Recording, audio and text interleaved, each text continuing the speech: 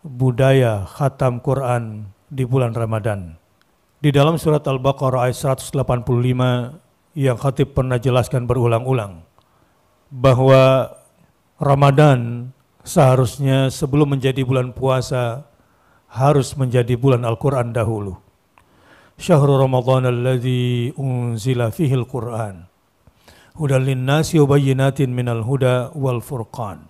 Syahrul Ramadan alladhi unzila fihi Al-Quran. Bulan Ramadan yang diturunkan di dalamnya Al-Quran adalah Ramadan mulia karena diturunkan Al-Quran. Adalah disyariatkan berpuasa pada bulan Ramadan. Faman syahida minkum syahra falyasumhu. Di ayat ini bahwa demi memuliakan Al-Quran. Sekali lagi betapa salahnya, betapa kelirunya orang-orang yang berpuasa tapi tidak membaca Al-Quran dan tidak sungguh-sungguh membaca Al-Quran. Seperti siapa? seperti orang yang membakar logam sampai membara. Dia ingin membuat pedang, tapi setelah logam itu membara, ternyata tidak ditempa logamnya menjadi pedang, dibiarkan begitu saja.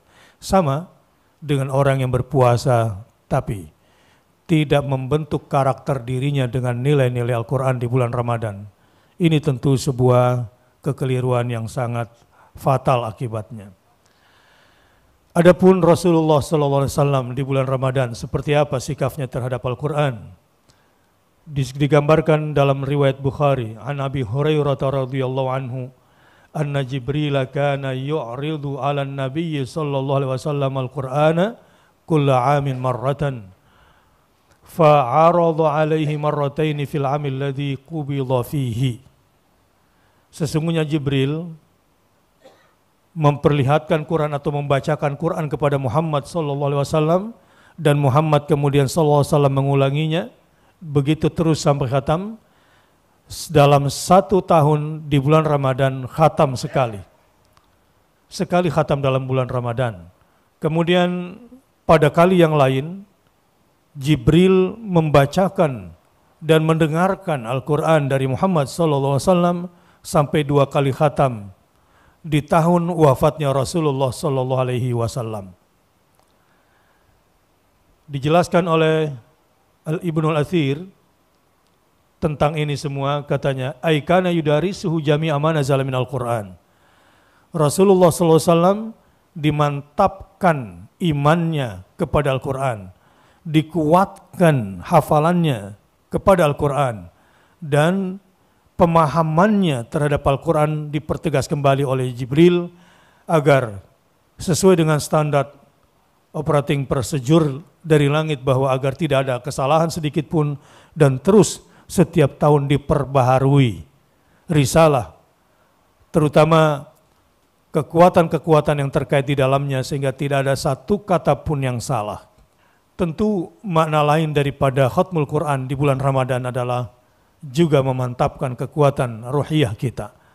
Dalam rangka membekali jiwa kita dengan bekal yang paling mulia yakni Al-Quran. Dan berbahagialah orang-orang yang berpuasa yang senantiasa membekali kemuliaan jiwanya dengan Al-Quranul Karim. Sebagaimana yang dicontohkan juga oleh para salafus salih bahwa para pendahulu kita orang-orang salih para sahabat tabi'in tabi'an tabi'in para ulama, para wali-wali Allah dan orang-orang saleh, mereka semua punya kebiasaan rutin di bulan Ramadan meninggalkan banyak kegiatan dan mengalokasikan mayoritas waktunya untuk Al-Quranul Karim.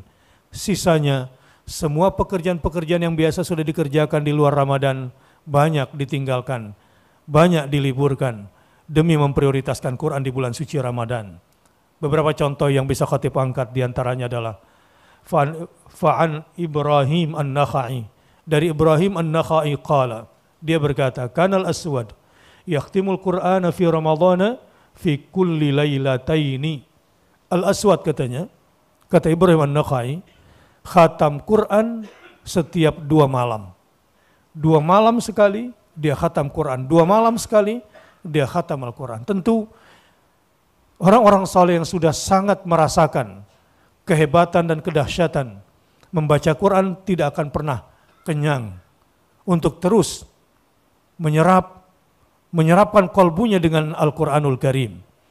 Dan tentunya juga sangat dirasakan terutama bagi mereka-mereka yang ingin agar doanya semakin tajam, agar firasatnya semakin tajam, agar semua yang terkait dengan spiritualnya semakin kuat sehingga semakin terang kolbunya dalam menjalani hidup dan tidak banyak mengalami kesulitan dan rintangan.